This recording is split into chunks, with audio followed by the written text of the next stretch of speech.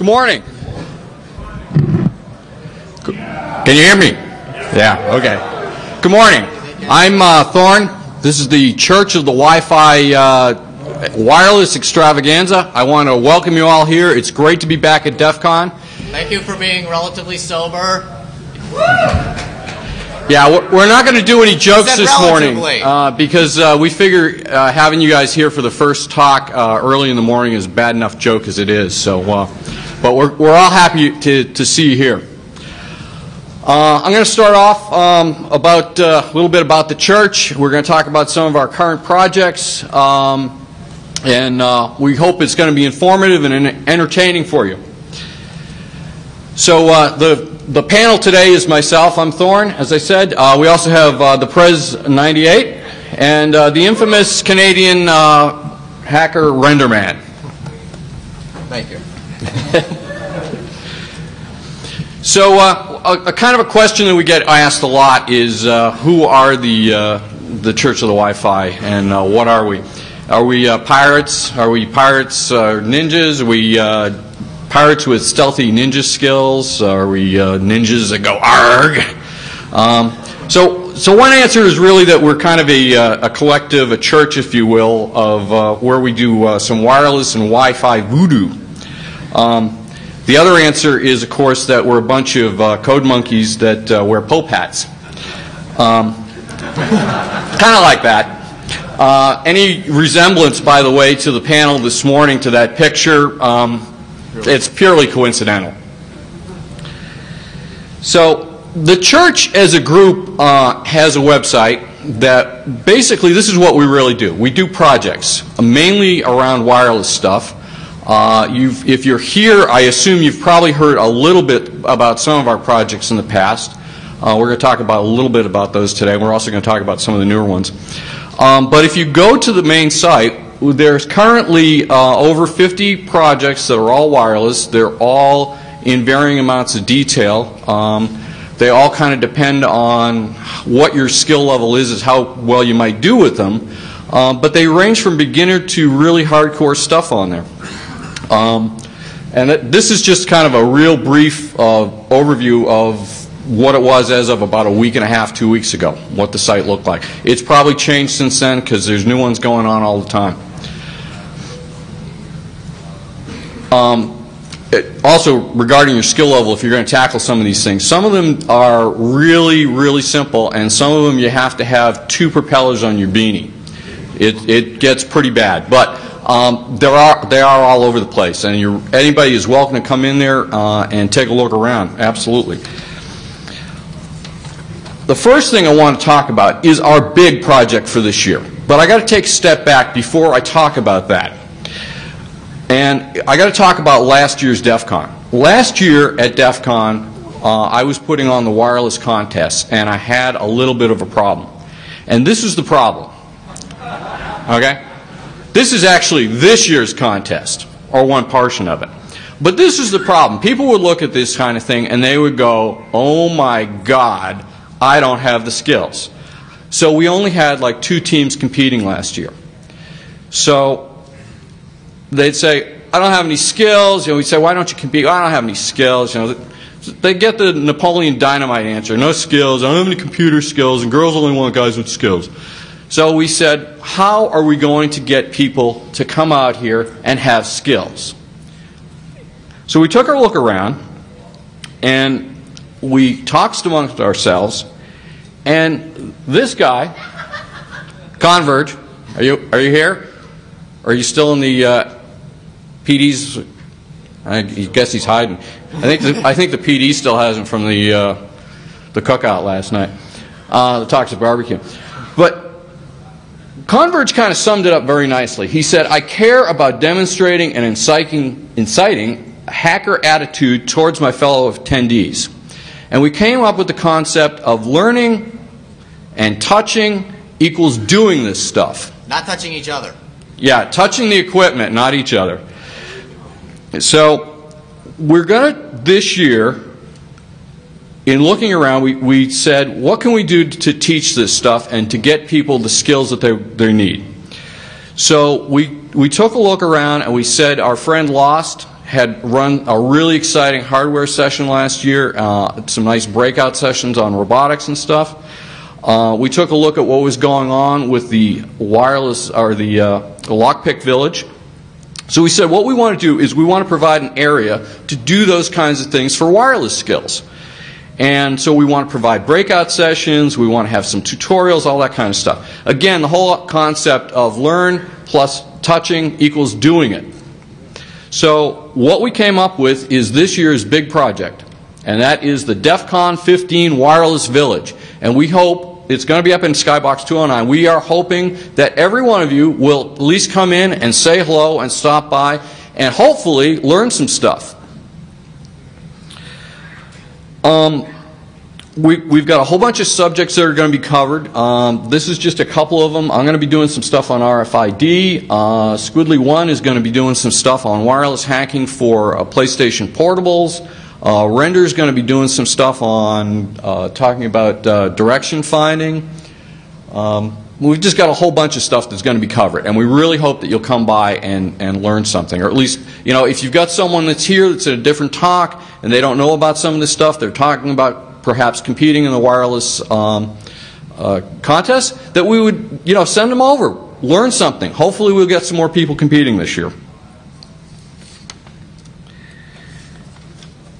So, just, um, yeah, again, some more stuff on regarding the, what we're going to be teaching up there, the wireless technologies, doing the breakout sessions. Again, that's, that's where we're going to be up in Skybox 209. And uh, we've even got a limited, a very limited amount of those really cool stickers that look just like that. So if you are, if you're not cool and you don't have one of these on your laptop, you should definitely come up and at least uh, try and own a sticker. Now, because of this, we're integrating the wireless contest this year um, with the Wireless Village, and so uh, again, the whole idea of learning plus teaching equals doing this stuff that you can come upstairs, learn a skill in a session, and then go out and actually compete. All right, enough about that.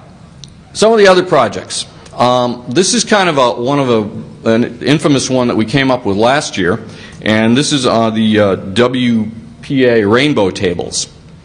Uh, I think probably some of you have heard about these. Uh, they've been talked about a little bit nationally. We came up with a concept last year of uh, this is actually he, he, and I talking. He and I talking on the phone is like a really bad idea because we, we think about these things. And we say, what if we did, hmm, and all of a sudden something starts rolling. So we were talking about a year ago, um, a little, actually a little over a year ago, and we said, if we put together some sort of rainbow table, would that work? And at first we said, no, it won't work because there's a couple of different things. And then we talked to some friends who said, yeah, it would definitely work if you did A, B, and C. So after a lot of futzing around, a lot of trial and error, uh, a lot of error on error, we finally produced um, the first rainbow table for WPA. And it was 172,000 words passwords that were in a dictionary. They were run against the 1,000 most, most common SSIDs. That resulted in a 7 gigabyte rainbow table and um, was kind of popular. We've had a lot of downloads. Uh, the Shmoo has been very kind in hosting it for us. So we said, well, can we top that this year? So Render uh, tracked down some more passwords quite a few more. This year, we have run 1 million of the most common passwords against, again, the most common SSIDs, 1,000 of those, and we have yielded a table of 35 gigabytes. You're going to have to use BitTorrent to download this sucker. Or come to the village. Or come to the village, yeah. Come up to the village. We will have them available. Um, but it takes a while to get them. Uh, this will, even on BitTorrent, this will run you about a week and a half to download on a continuous download. Um, but we are able to now use these tables to crack uh, an amazing amount of passwords. And on average, you can run these about a minute to two to three minutes and crack most passwords on common SSIDs. Um, this is a real good tool if you're doing any kind of wireless security work and people say, oh, I've got a bet, the best password in the world that's locking down my thing using WPA. You can walk in and probably break it if it's a, any kind of dictionary word. Um, and even some of the more common ones where, you know, they stick a 1 in the middle of the word. Uh, those kinds of things. Very easy to break it now with a password. And again, the idea behind this is to get people to use secure passwords or secure passphrases. You can use up to 64 letters on WPA, and most people are using, you know, their first name or something. So, just we're we're we're getting bigger and better, folks. Um, by the way, oh, one, one comment about this. Uh, a lot of people have asked, well, what if they've got something that's really uncommon and they want to check and see how long it can break it? There is a package out there that you can generate uh, your own rainbow, your own table, for a single SSID uh, using the standard million passwords. And it's called uh, Gen, or Gen, yeah, G-E-N-P-M-K. It's included in the package uh, for Cow Patty and it takes about 30 minutes uh, on average to generate your own table for um, a given uh, SSID against those million passwords. Um, that is roughly a two to one trade off on any SSID uh, or the more common ones because uh, it will usually take about 60 minutes using just cow, cow patty in the native format to break it. So you, you, can, you can usually do it a lot quicker using the, the rainbow.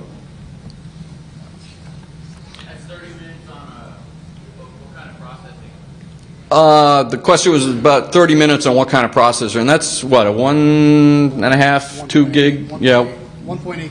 1.8 to, to two gig machine. You'll you'll run in about 30 minutes. Okay, the other uh, big uh, project that that has garnered some attention already is our own uh, distro. Now, right off the bat, I want to tell you people this is not its own, our own, in the normal sense that we built this thing from the ground up. We did not. Uh, this is based on Backtrack 2. Uh, we have permission from the, the kind folks at Backtrack. Max uh, said, we told him what we want to do. He said, run with it. So what we did, did was we have come up with a way to produce a uh, bootable USB disk that you can plug into any bootable com computer, USB uh, bootable, com bootable computer and you can boot it into a backtrack mode and it will come up with its own tables ready for cracking against cow patty. Um, th this is just an excellent tool if you don't want to install backtrack on your own PC, you don't want to necessarily carry around the uh, separate CD and then try and bring it in uh, the tables in on a drive uh, which can get a little unwieldy. Uh, this will actually allow you to plug it into any laptop, boot it up, and away you go. And you can be doing wireless checks inside of, oh, two minutes for the boot.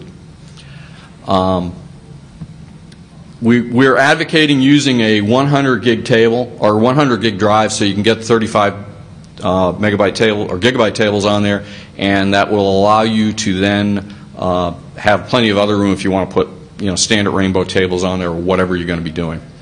Uh, but this is it right here. This is, this is model number one or model number two, depending on how you look at it. I got to tell you, too, folks, we had announced this uh, back in January that we were going to be doing this. And um, we started creating the first ones back in February, and we couldn't do it. We ran into an enormous amount of problems getting this sucker to work. Uh, so much so that Model 2 and Model 1 were produced last weekend finally. But we do have it now. We do. We know all the secrets to getting it to work properly, and we will have it written up and on the site. Uh, I'm hoping within about two weeks, three weeks, something like that. Um, the steps are complicated. Uh, they're they're not particularly hard to do, uh, and you can do it in about a half hour or so to an hour. It's just that you have to do the steps in the right order and you have to do it properly or the thing won't work. And um, I got to hand out uh, mad props to the guys down at the uh, Backtrack forums because uh, some of them figured out exactly where we were going wrong and said, "Oh yeah, you just got to flip this switch or put this bit in this spot and get it to work." But um, it, it finally uh, did work, and we're happy to announce it, that it is working.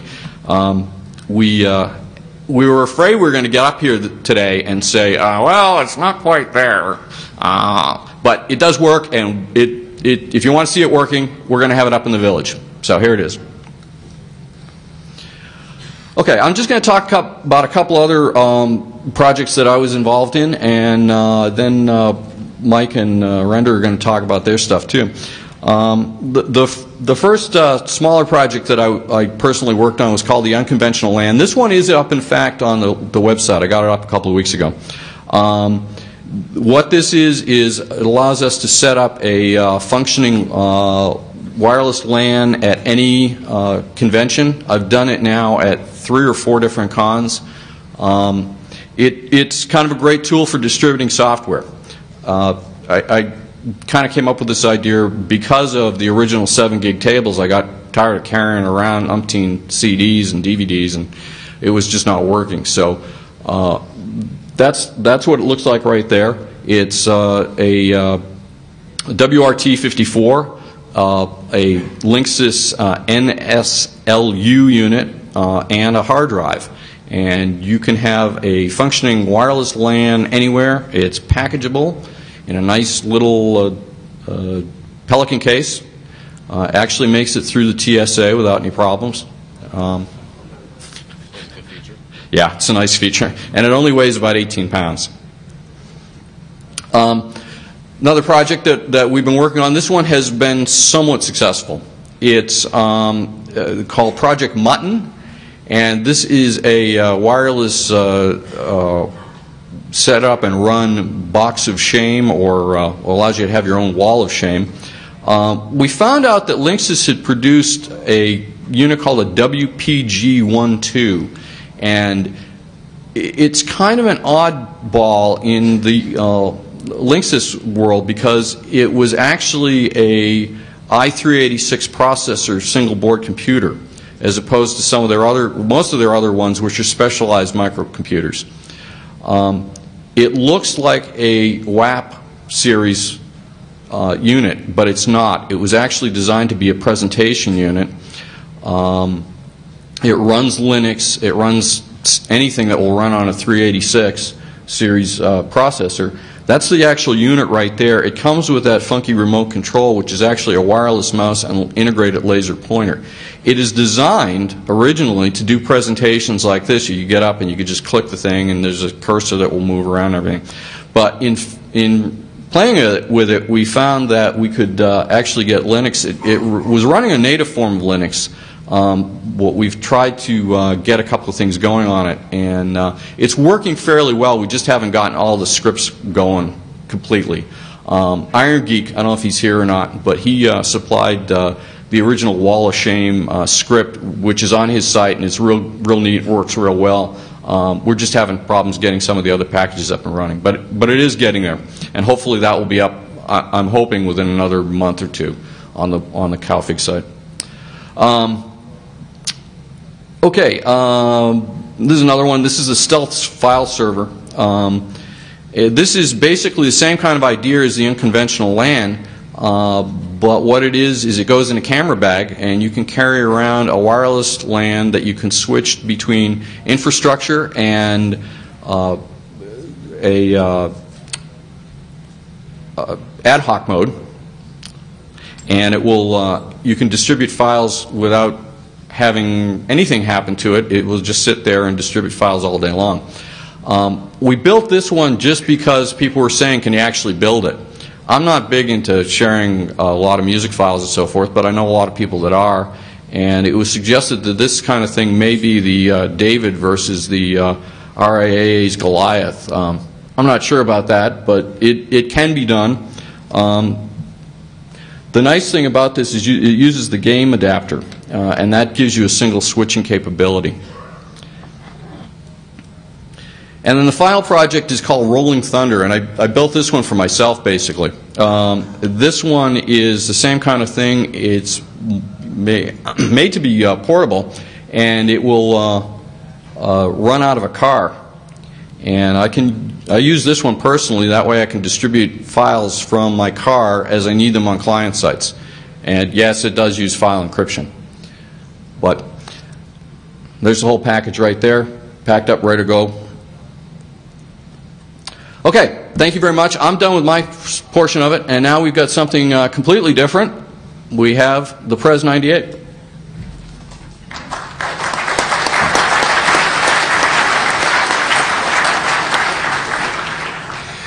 Uh, good morning. I want to talk uh, about three things. First, I want to talk about the wireless contests.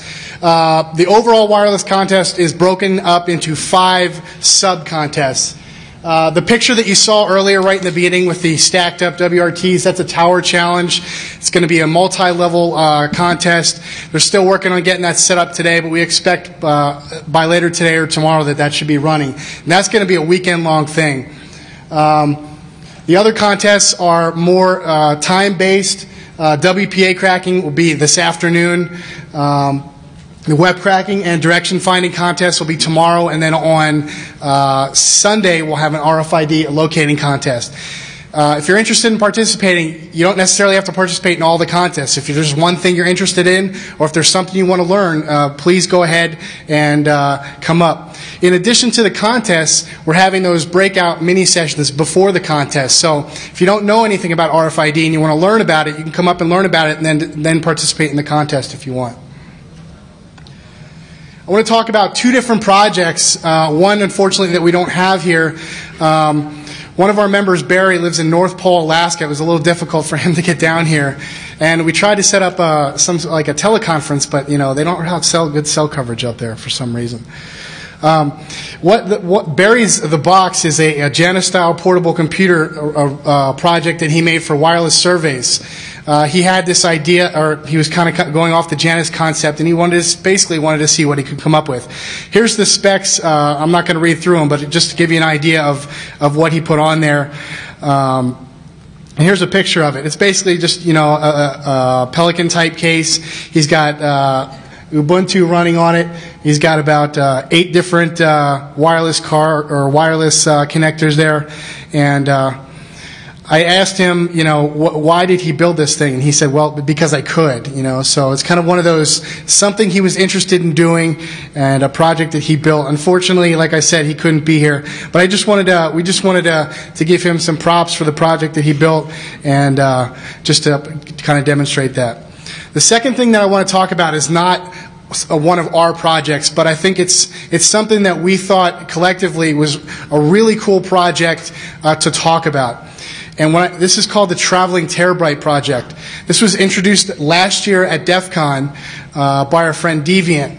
And uh, this is a, a, project that we kind of thought, wow, this is something that while it's not necessarily a wireless project and while it's not necessarily one of our projects, this is something we really want the community to know about because this really embodies uh, the kind of community that we are. This was conceived by Deviant in uh, June of 2006. He had ordered a couple hard drives for a client and found that they were a good price, so we ordered a couple more. Um, to the project is basically two 500 gigabyte external hard drives. The green case up here in front of Thorn is, is, is the package. It's in a green Pelican case. It's got power adapters, uh, co- power converters, USB FireWire. The main idea for this project was to be able to take this case and send it to somebody uh, who may not be in an area where there's a lot of connectivity or a lot of content, uh, like in Iraq, Afghanistan, that sort of thing uh, to be able to share con talks, video, music, movies, all that sort of stuff with someone who doesn't really have the bandwidth or the capability in a remote location to do that. So uh, this was the project. This was kind of the project that was introduced at last year's DEF CON. Debuted last year, uh, and This project was, has already been called an urban legend. This was uh, one of our uh, friends, AST Cell, was in uh, in the Middle East, and, and one of his bosses had heard about the project, but thought it was just some myth that you know was was going around. But this is actually something that's taken place. Here's the the project's first owner, displayed last year at DEF CON. Is is AST Cell here? There he is. Here's the first owner of the project, looking uh, very uh, scary in his army uniform. Uh, he took the project from uh, Las Vegas to Tampa, where he was working at CENTCOM, uh, and then he sent the project to me uh, when I was in Iraq. I was in Ashraf, Iraq, which is about 50 miles northwest or northeast of Baghdad. Uh, and it really is the middle of nowhere. Uh, I really had no. This is my desk here that I was working off of, and no not much wire, not much uh, connectivity. Pretty bored uh, during the day. I got this project. It had all sorts of cool things on it. I had a lot of space to uh, copy stuff on and uh, contribute as well. By October, uh, a second set of drives had been uh, unveiled. This is the second case over here. Um, and now you can see in the picture here that basically all the pieces and, and components of this thing put together. Uh, traveling terabyte one, I looked through the logs. It's been throughout the continental US, uh, US as well as Iraq and Kuwait. And I've estimated up until, until now it's traveled just about 25,000 miles. Uh, so basically around the globe uh, in excess of one time. So that's pretty cool. If you're, if you're more interested in this project, uh, there's the link there for the uh, homepage, Deviance page on the Traveling Terabyte project. There's also a, a thread on the uh, DEF CON forums that talks about the history of this project. Uh, and then there's uh, been some, uh, some news uh, releases about this project. Like I said, not one of our projects, but something that we really wanted to mention as something that's really indicative of the way this community should be. Whole bunch of people, you know, had ideas and contributed to this project, and now it's benefiting people that maybe don't have the resources to get this sort of material. This is my shameless self promotion slide. Like we talked about, please check out the village up in the skybox. We're going to start up probably around noon today. And we'll be running the entire weekend. Check out the contest. I'm giving a talk tomorrow night called uh, Hacking Iraq. It's going to be in Speaking Area 1. And then uh, I'm getting out of the Navy, so if you're, if you're interested in hiring somebody, I'm looking for a job. Thanks.